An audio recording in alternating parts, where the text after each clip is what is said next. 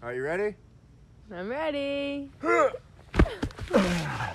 All right, ladies and gentlemen, it's Friday night here in Stanton, Nebraska. Nebraska. Nebraska. Wow, we have a lot to talk about. It's been a while since we've done one of these. First of all, I would like Ali to show her shirt.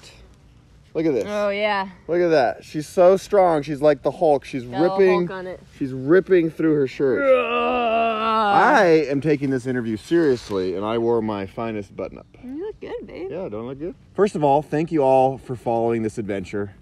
It really means a lot to us that people are enjoying this, right? It does mean a lot to us. Thank you. And yeah, enjoying it um, as we're enjoying it, and yeah, keeping us going, supporting with your words and your cookies and all that good stuff. So Not thank enough you. not enough cookies. More cookies are always appreciated. More cookies Appreci- sent to us, please. We have a bunch of questions that social media has directed towards us that you're very curious about. We'll try to answer as many as possible. But the first question comes from uh, one of my Instagram friends, Marissa in California, and she asked, "Has riding together with your loved one, with your partner, been all you ever imagined?" Good question. Very good question, Marissa. Ali, you want to start? Um, yeah. All I've ever oh, has it been all I've ever imagined. Um, all that and more. I mean, I would say that it has been more beautiful and heart wrenching and transformative than I had imagined, and has also been more challenging than I had imagined.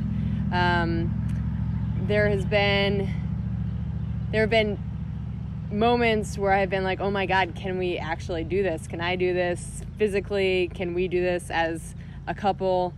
Um, and then there have been moments where I'm like, wow, this is, it really is like just a dream come true. Like these things are almost, we couldn't have written this out. We couldn't have scripted this. So let's say, yeah.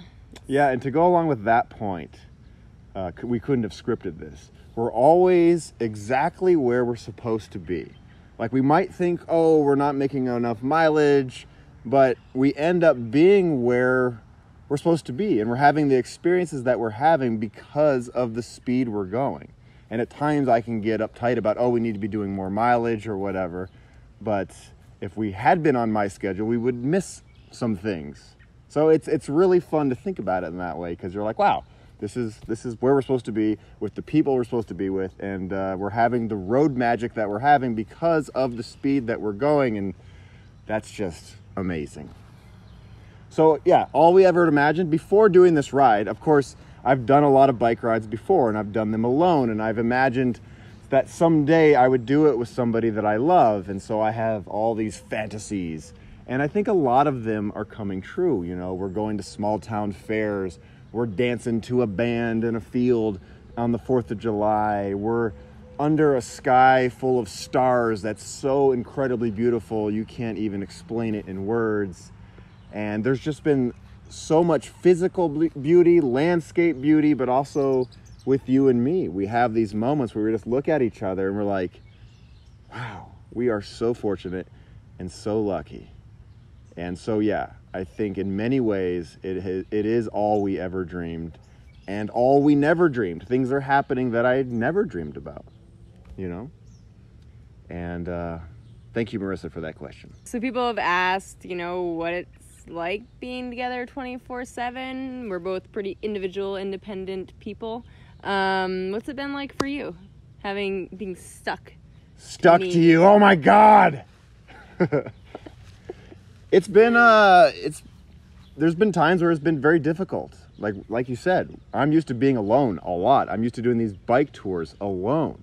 And I can do whatever speed I want to do and I can eat when I want to eat and stop when I want to stop because it's just me. With you, I have to take into account your needs and your wants and your desires and uh, that's been it's been a change for me. And it's been difficult at times because i want to go faster or i want to wake up earlier or i want to get to a certain town. But overall it's been it's been amazing. And being with somebody 24/7 i mean i don't care if you're so madly in love it's it's like a fairy tale. You do get annoyed with that person. And we've definitely gotten on each other's nerves. We've had some moments where we're like going back and forth and back and forth and you're just like i'm not really enjoying you right now.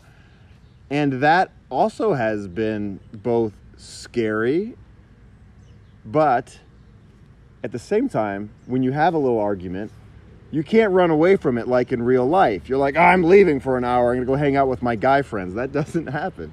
You have to deal with it right then and there so we've learned problem solving skills that uh, that have been very useful, and we we've learned them very quick. I think we're living a lot of relationship in a very short amount of time. It's only been what six weeks we've been on this trip, but it feels like this has been a year crash crash course in relationship 101. Yeah, I agree with that. I think that um, we are definitely going through at least a year of relationship in this two and a half months. Um, and and there's been times where i'm like whoa like maybe this was too much too fast. Like maybe we don't have the base. And really the trust you know trust is something that it takes time to develop. Maybe we don't have that going in. We don't know each other well enough to be taking this on. But you know in the end i think I think it totally is worth it. And I think it totally was the right decision. You know, you and I both go hard when we do things. We tend to like go all in. And I don't know, like, I'm not like trying to mess around here. Like, I think it's good to figure things out. Like, you know, we're working things out. We're figuring out whether or not, um, how, how things work together. For example, we were riding in Wyoming down the Continental Divide, and we got into it about something that had happened a few days earlier, and we were going back and forth and back and forth. And you're like, I don't think this is a good time to deal with this. And I was like, I think it's a great time to deal with this because we have a big shoulder, and it's just you and me, and we're just talking. So let's just keep talking. And uh, I mean, I was kind of saying it in the moment to be funny, but it was true. Like it, it was a great time to, to, to talk it out. Yeah. You know, we were on our bikes, our bodies were moving, we were heated up, and our in our debate or our conversation, and we did work through it. And Yeah. we got to the point where we're like, okay, I see where you're coming from. You see where I'm coming from. Deep breath. Yeah.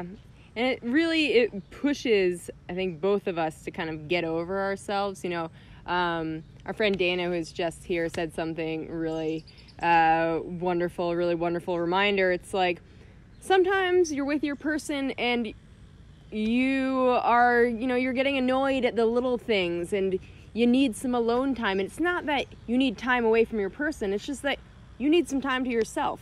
And when you reach that space of like just needing some time to yourself, self, it's not it's nothing personal against you, right? It's it's just that that's a human need. Yeah. Um, and so, you know, we're in a situation where we can't necessarily take too much space, Nope. but we can come in and remind myself, I know I can be like, okay, I'm really irritated with pretty much everything Ryan does right now, but it's not because of him. It's just because I've been around him 24 7 for however many days. Um, so that was just a really wonderful little reminder to check and like check in and um, and I think it's been yeah, it's been good to have that, like constantly having to check myself to make sure that I show up in a good way for you.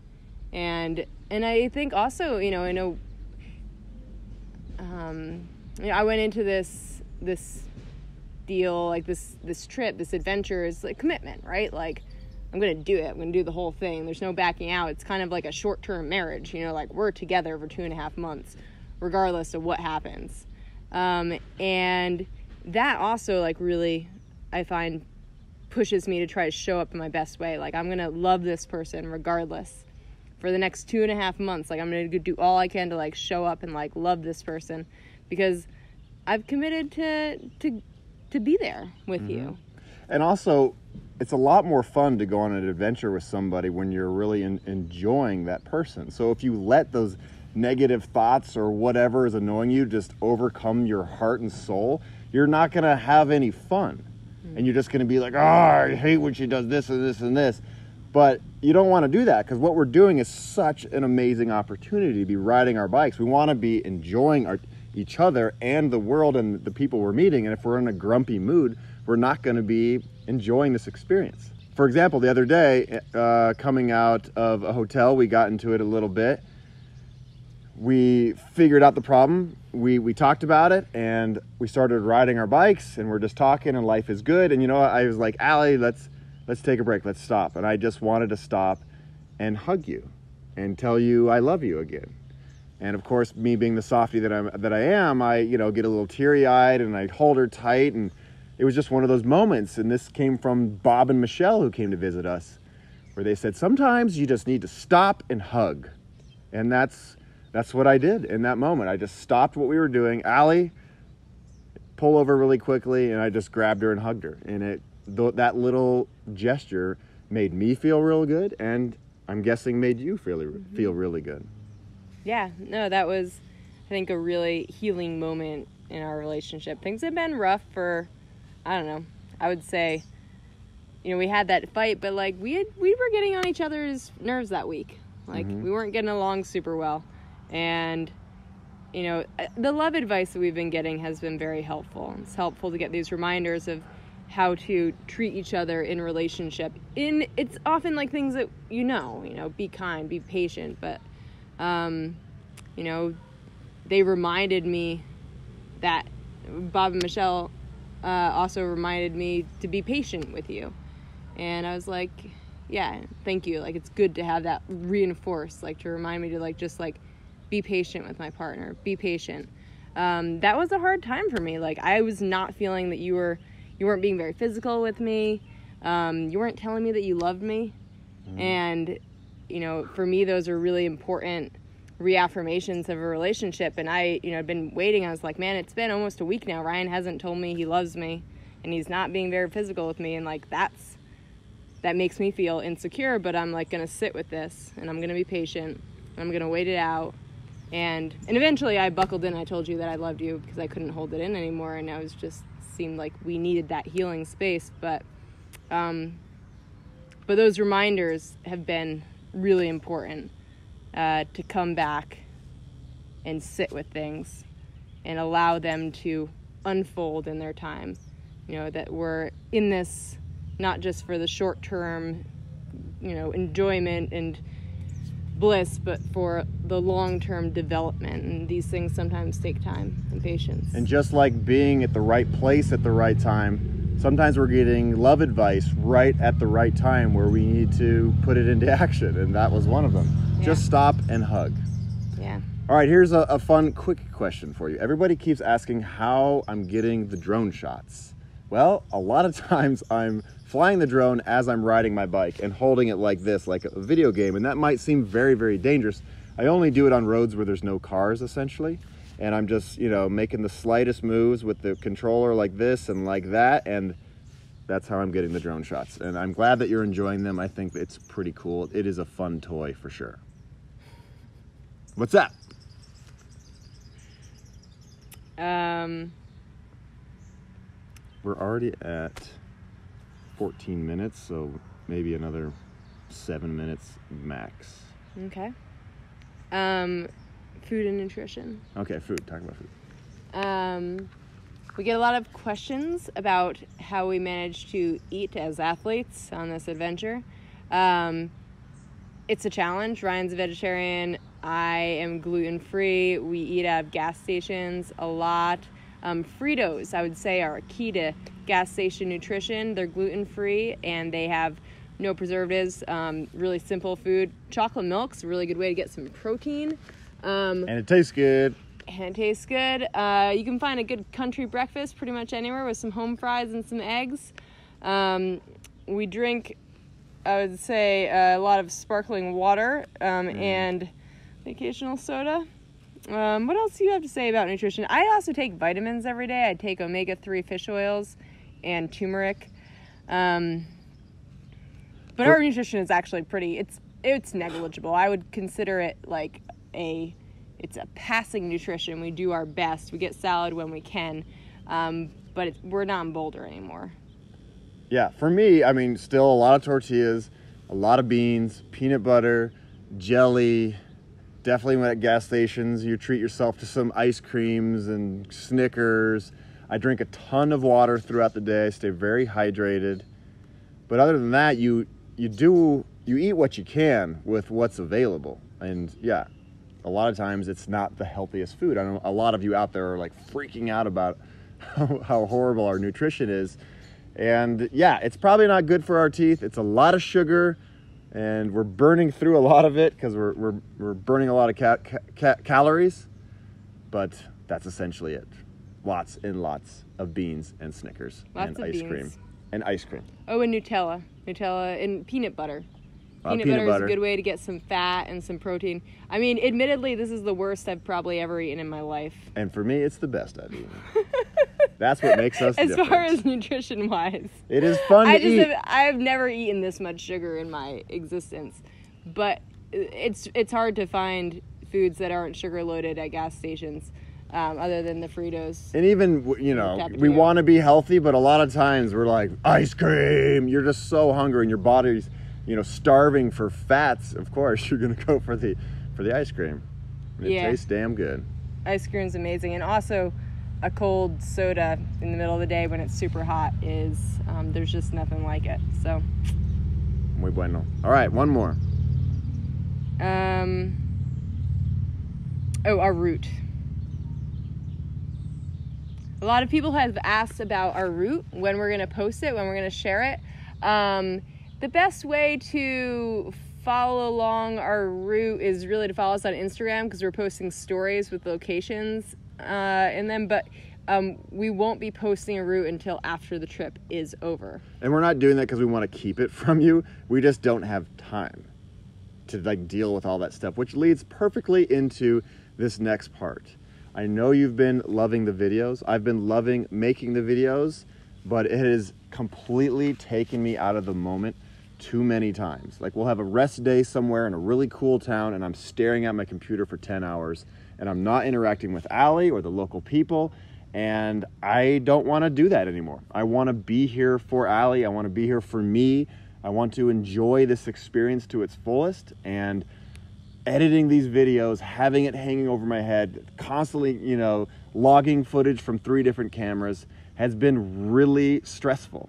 On top of riding our bikes for eight to nine hours a day and camping and navigating and food and all the other stuff. So I am going to slow down with the edits. I don't know exactly what that means or how it looks.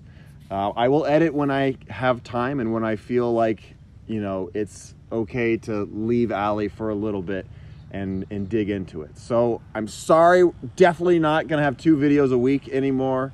Hopefully one, uh, but I will do all the videos. That's I'm not saying it's over. Like if I don't make another video this entire trip, when I get home in early September, I'm gonna crank them all out. So this is kind of like a a mid-season break, and I can't thank you enough for following along. Everybody who's been a, a fan of this channel since day one, or if you've just subscribed you keep us going, you keep us inspired, you keep me motivated to create this content. And it's hard to let it go. It's hard to not uh, fulfill your wishes, to want more and more and more. But uh, I need to, I need to be here in every way for Ali and for this adventure. Sorry. Thank you for tuning in. And uh, do you have anything else to say? Um, no. All right, we're gonna just uh, have a nice night in this little town park here in Nebraska. We're headed to Iowa tomorrow for RAGBRAI. If anybody's at RAGBRAI, come look for us. We're the stinky people. Uh, thank you so much. Mwah. Yay.